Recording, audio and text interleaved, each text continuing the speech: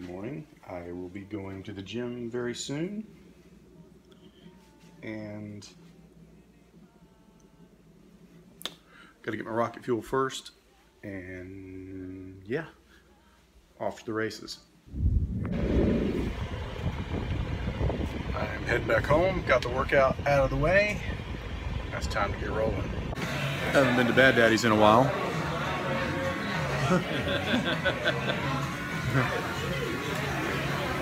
I had to swing by the house to pick up a camera for William and David. They're shooting a shoot tomorrow. I suggested they use this vlogging camera, which I don't use for vlogging anymore, really. But it's a really good camera. And um, so, yeah, got that. Now I'm heading back to the office.